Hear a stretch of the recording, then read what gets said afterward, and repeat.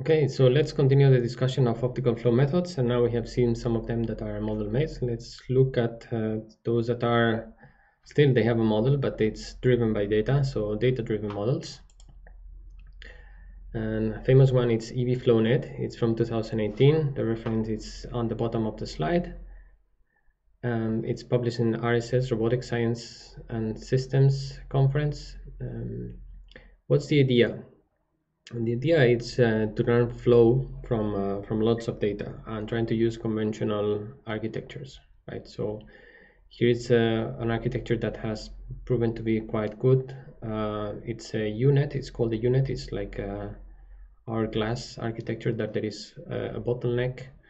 So the, there is a part that it's an encoder and another one that it's a decoder and in kind of multi-resolution stages and there are skip connections basically connecting the different layers and there are things that are measured. So the the error with respect to ground truth flow or some sort of uh, measure is um, is computed at different uh, resolutions or levels and then it's used to update all the coefficients of the network.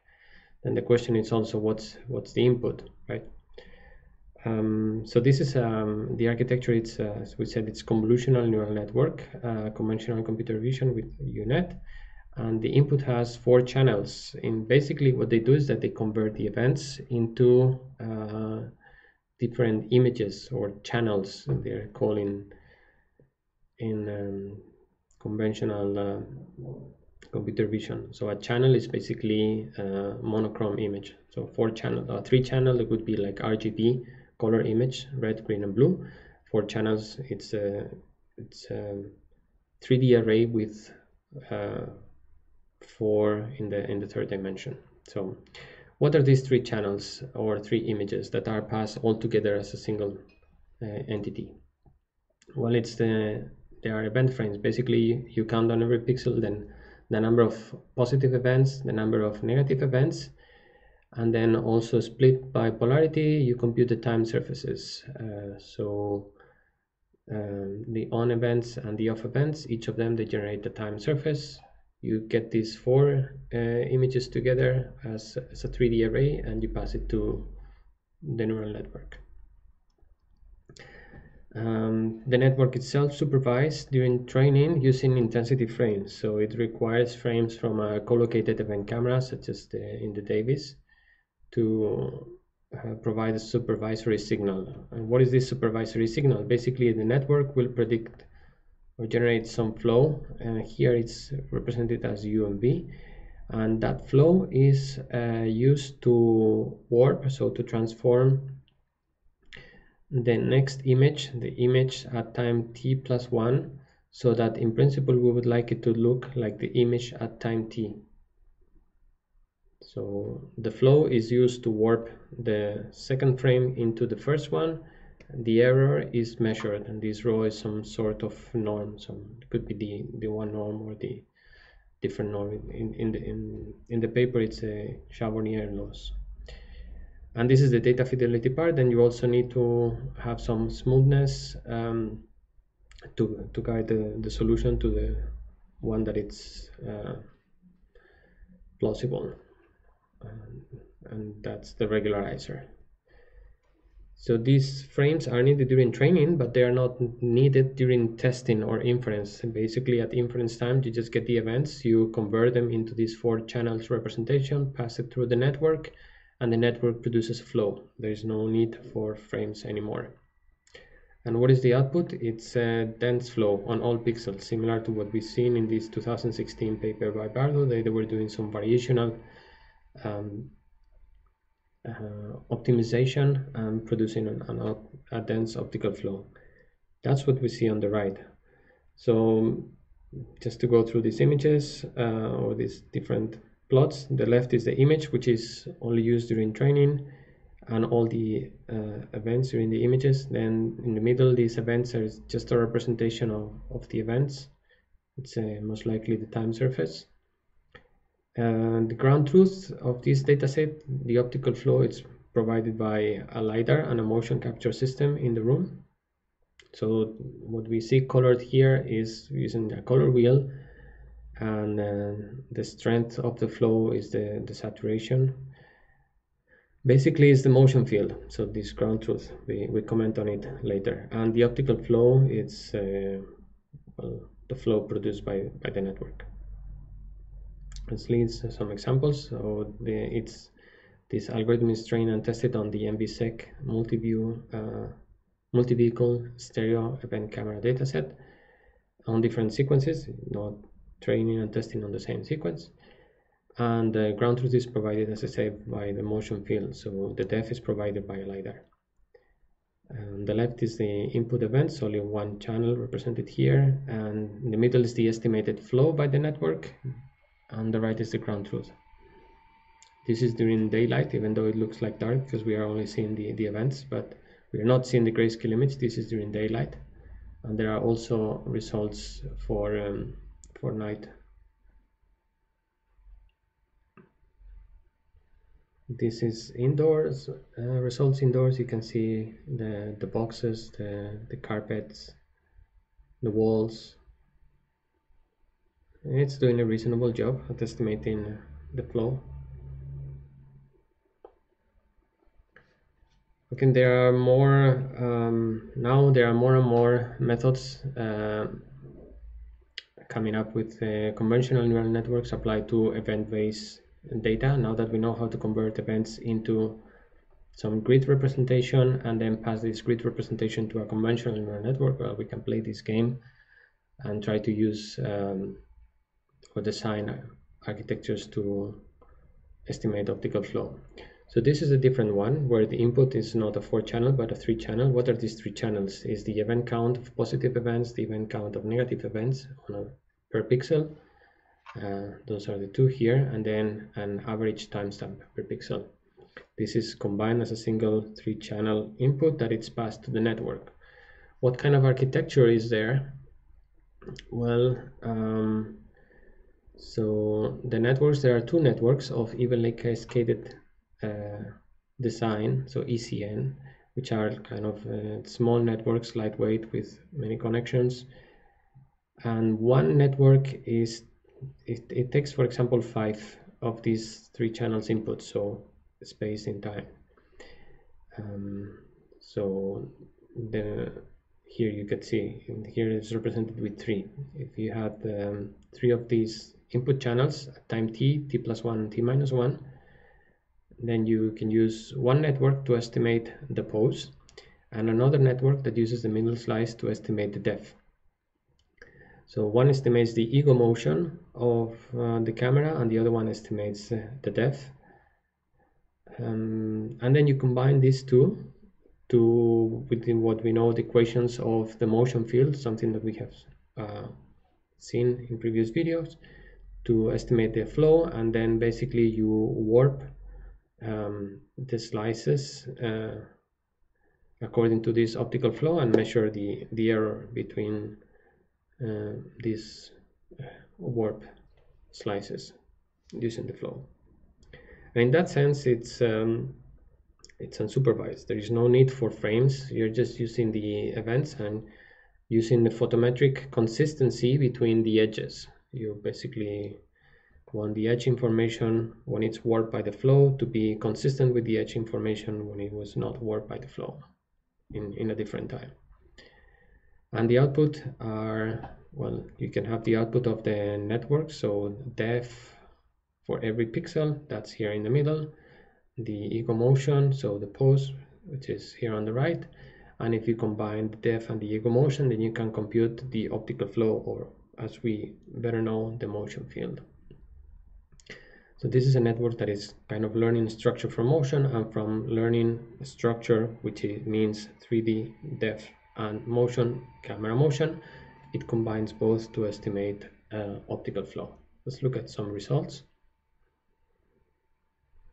So here there are on every row it's a different sequence from the MVSEC dataset indoor outdoor day outdoor night indoor flying and you see the input representation on the leftmost column and then it's comparing the flow the one produced by the network and the ground truth and the same for for the depth the estimated by the network and the ground truth depth. It also compares with uh, EVFlowNet, so and with other methods to show on accuracy. That's one of the metrics that is used. And also compute some depth estimation metrics to show that it's doing a reliable job at estimating depth. Finally, in ego motion estimation, what you can do is that you can integrate the velocities um, estimated by the method and that will give you a trajectory and then you can compare the trajectory with the ground truth trajectory provided for example by GPS and there is some drift uh, but overall it, it looks reasonable okay there is uh, another network more or less that came at the same time on unsupervised optical flow or depth So these are actually two networks, one that computes optical flow and another one that estimates depth and ego motion. So structure from motion for short. And uh, it's uh, uh, kind of same principle as EVFlowNet by the same author.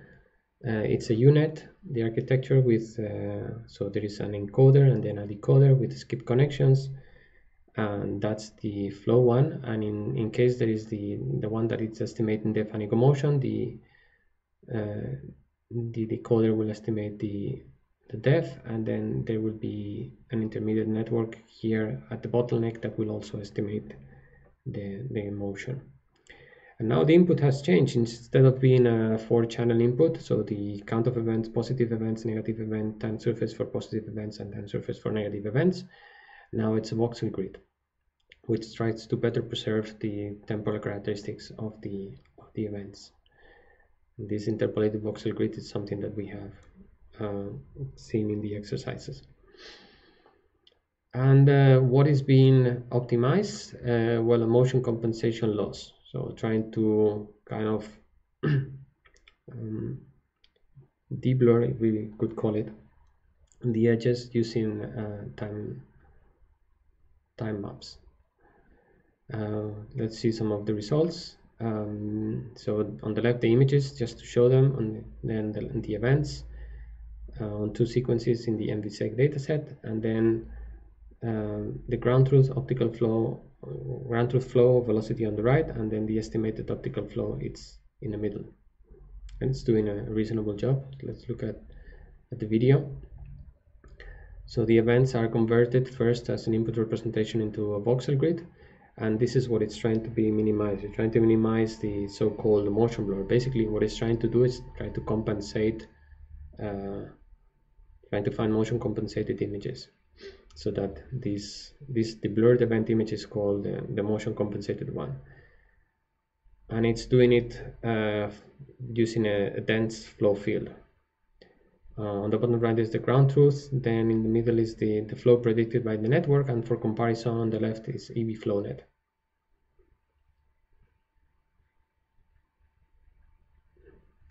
and this is the result of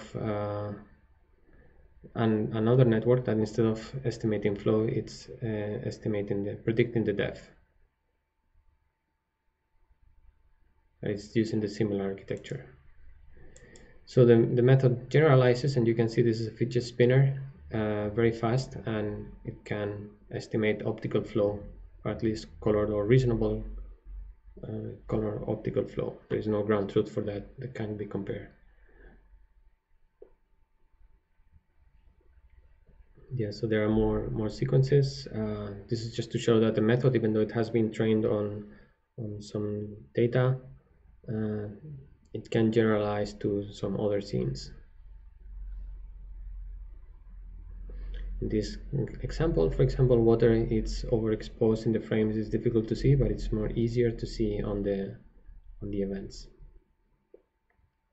This is just qualitative results therefore there is no ground truth but it works uh, it works uh, very very well. Okay so we have talked about uh, neural networks that kind of follow conventional architectures um, so trying to adapt frame-based computer vision.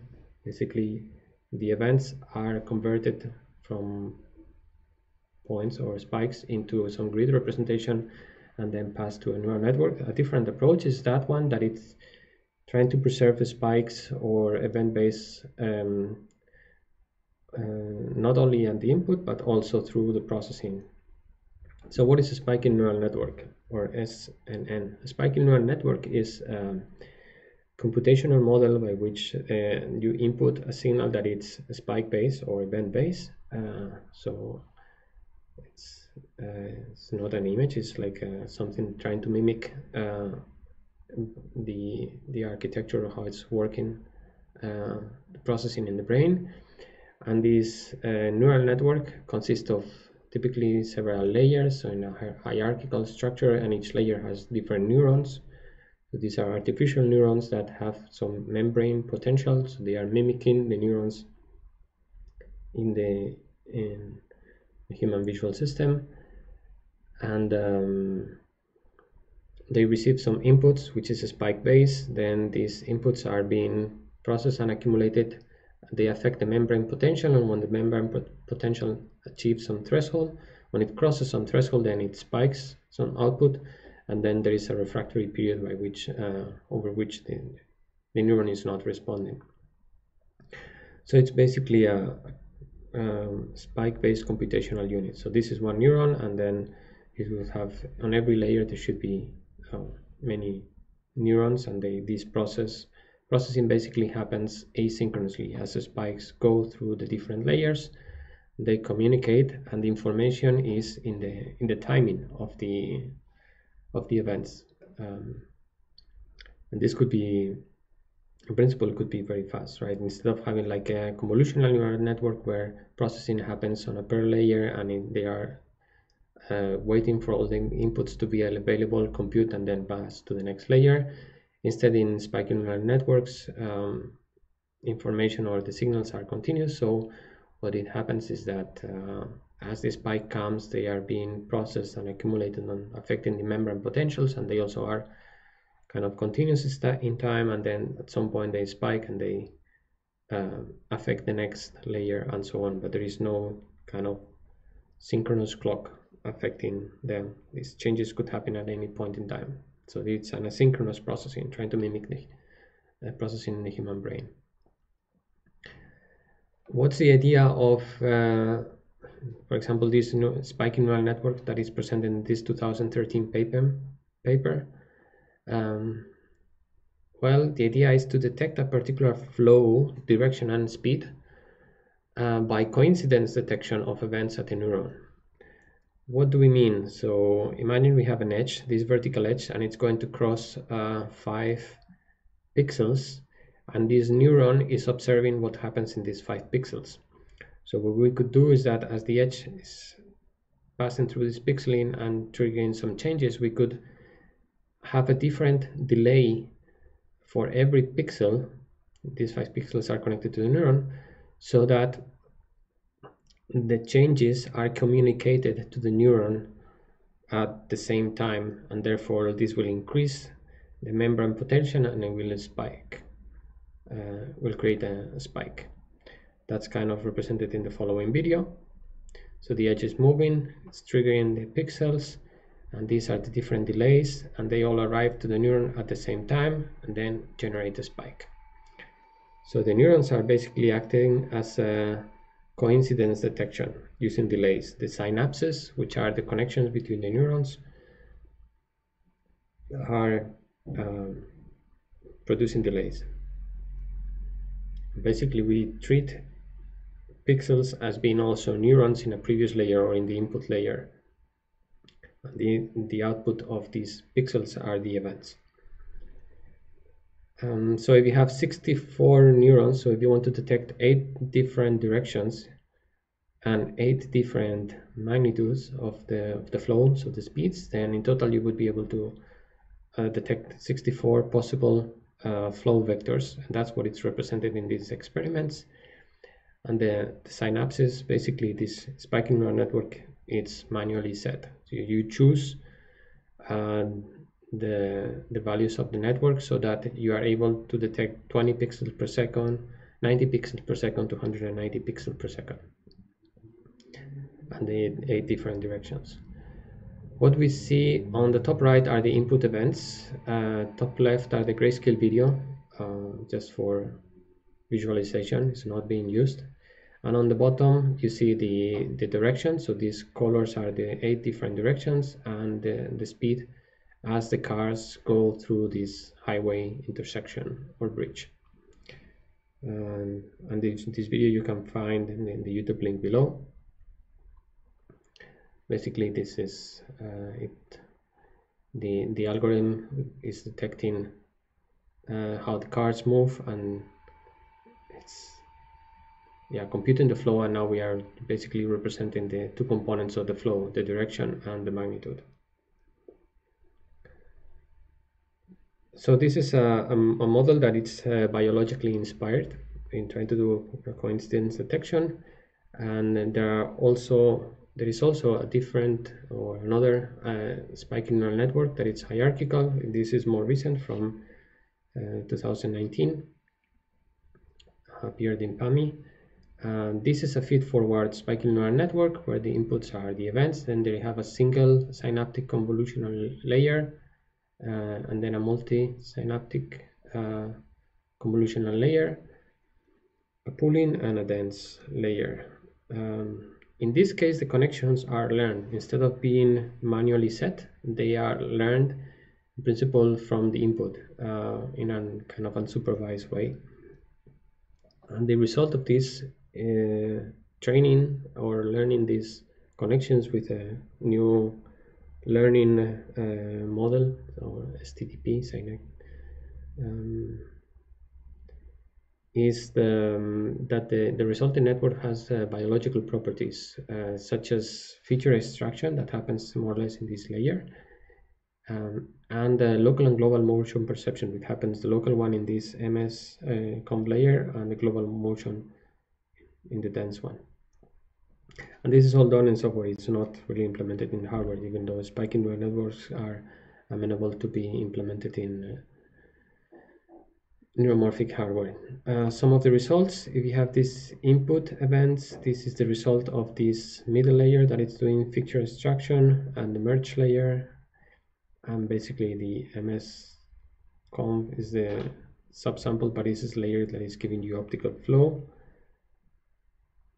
and for comparison um, on the right it's the result of EVFlowNet and this is basically uh, one of the data sets um, from a 2016 paper where you have like a rotating uh, disk with different brightness steps. And there is also a video with some uh, uh results. Uh, first it analyzes the the result of this single synaptic convolutional layer that it's basically showing how the the filters are or the weights are learned from from these inputs. There are some responses are then it's trying to uh, the training is learning the the weights so it's actually learning direction selectivity. These are 5 by 5 there were 5 by 5 pixel filters and these are the results of processing in the through this SNN some different uh, events. Um, th these are different layers of the feature extraction and the local motion perception. So this is the kind of the optical flow. This is on a textured carpet. And then there is another example that it's a bit more less textured and a bit more realistic I would say. Well this is still boxes from the IJRR 2017 dataset on the motion. So the network is also doing a subsampling. That's why we see that the resolution is higher on the left than on the right. It's doing some pooling. And therefore we see uh, smaller resolution on the right than on the left and this is a scene maybe a more natural realistic scene. Yeah the results look uh, reasonable. Okay uh, that's basically it for the uh, learning based methods. And now how do they how do the methods compare? Is there a way? We've seen that sometimes when the methods are uh, presented they are compared to with some other previous methods. The thing is that it's difficult to tell because there is a lack of comparison benchmark. This is something that we already talked uh, before. There is a comparison 2016 done by Tobi Delbruck and Bodo uh, at Frontiers of Neuroscience. Um, but there have been many developments since 2016, so this kind of comparison it's a bit old now. The de facto standard now is to compare to uh, previous methods um, using the MVSEC dataset because this is a dataset where ground truth is provided by uh, the motion field obtained by SLAM or motion capture system plus the LiDAR that provides the depth. And there is, yeah, and so basically this is a dataset that has ground truth flow. There are not that many datasets that have or where you can compute ground truth flow. And uh, this is an example of one of the the tables. If you want to compare to other methods uh, from CVPR 2019 on the columns are the different sequences indoor flying outdoor day and on the rows are the the methods. Um, so I think you have to just take these numbers with a grain of salt. They are kind of there to compare uh, accuracy but uh, there a more thorough comparison I think it's is required to get really get a feeling of how the methods compare because this is just comparing on a few sequences and there are many parameters to tune on each method and so on. This is just uh, to get a ballpark so what is this 2016 comparison? Let me show a video of it. So they are nicely comparing more or less nine algorithms four variations of the Lucas Kanade method four variations of the plane fitting that we've seen and one is the direction selective method compared against IMU flow which is the ground truth coming from the from the IMU so optical flow or motion is obtained by rotating the camera. The problem with that is that it uh, lacks parallax. There is no occlusion disocclusions this was the direction selective filter. Now it's the Lucas Kanade flow. You see quite nicely the colors uh, representing direction. Um, and then there are yes variants without refractory uh, filter and uh, yeah it's trying to do like a more thorough analysis of these basically uh, three methods is the direction selective and then the, the Lucas Kanade and the plane fitting with four different variations this is a more natural scene where the, the camera is rotating around the um, vertical axis this is the IMU flow so the flow from the IMU, this is one algorithm, direction selective flow, and then it's compared to Lucas Kanade. This is a nice kind of uh, comparison. The problem here was to compute uh, ground truth uh, flow, and this basically came from uh, from the IMU. Okay, so um, what are the references for this uh, whole optical flow uh, sequence uh, series of videos. Uh, well, I encourage you to read section 4.2 of Event-Based Vision, a survey, the survey paper, and uh, also take a look at the papers referenced at the bottom of uh, each slide. And in, if you want to know more about uh, optical flow, uh, I encourage you to take a look at summary or reviews of optical flow methods, such as in Scholarpedia or this chapter of, of a book. And um, I think that's it. Thank you very much.